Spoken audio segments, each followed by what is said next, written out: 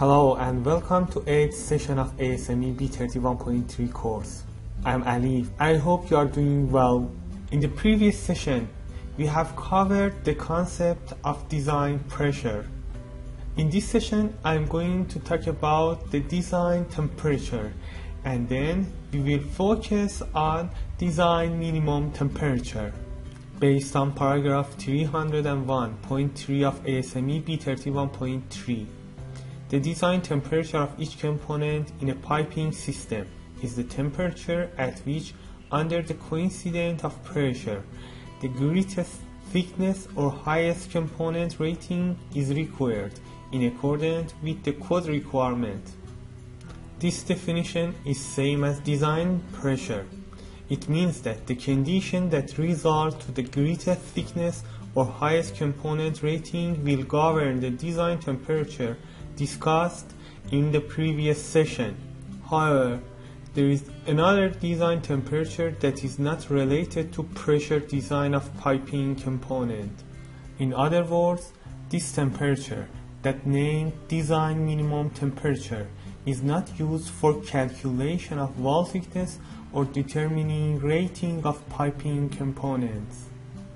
You know, metals are ductile in room temperature. However, if temperature drops below a certain level, the metal becomes very brittle. So we should ensure that our piping system will save when experiencing low temperature.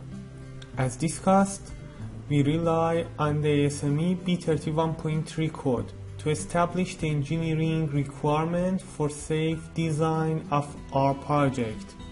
The code includes references to acceptable material specifications and guidance and limitation on their selection and application. Therefore, it is code's scope to specify the design minimum temperature for each material. Let's look at the definition used by ASME B31.3 for it. Design minimum temperature is the lowest component temperature expected in service. This temperature may establish special design requirements and material qualification requirements. Let's find out how design minimum temperature is specified by the code. Referring to previous sessions of this course, you are familiar with table A1, basic allowable stress in tension for metals of ASME B31.3. You know that this table is used for specifying allowable stress of materials listed in this table per temperature. This table is also used for determining minimum temperature, referring to note 6 of this table. The minimum temperature shown is that design minimum temperature for which the material is normally suitable without impact testing other than that required by material specification.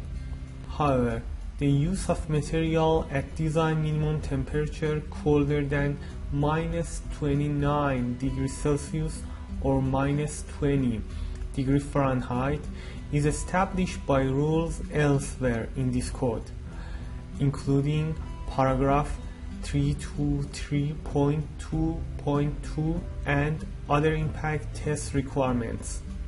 For carbon steels with a letter designation in the minimum temperature column, see paragraph 323.2.2e and the applicable curve and notes in figure 323 2.2.2a. I'm gonna explain note 6 of table A1 of ASME B31.3. First, it means that the minimum temperature in table A1 refers to design minimum temperature. Then it says that we can use all material at design minimum temperature or warmer than minimum temperature with no additional requirements such as impact test if design minimum temperature is minus 29 degrees Celsius. However, when design minimum temperature is lower than minus 29 degrees Celsius, we shall follow requirements specified in paragraph 323.2.2 and table 323.2.2.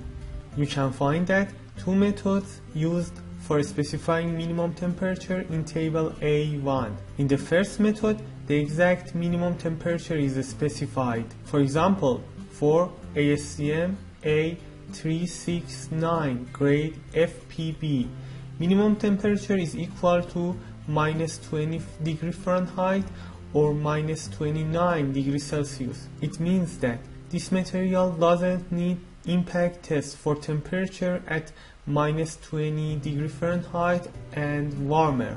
If we want to use it at temperature lower than minus 20 degree Fahrenheit, we shall refer to paragraph 323.2.2 and table 323.2.2. Another method is specifying a character or designation A, B, C, and D that refers to curves in figure 323.2.2a. For example, the minimum temperature of ASTM A381 grade 35 specified by designation A and for API 5 grade B specified by character B. For these cases, in addition to temperature, the thickness of material is also important for specifying the requirement for impact testing. We may have three conditions. Based on the designation, if design minimum temperature thickness combination of material is on or above the curve and the design minimum temperature is minus 29 degrees Celsius or warmer than, there is no need for impact testing.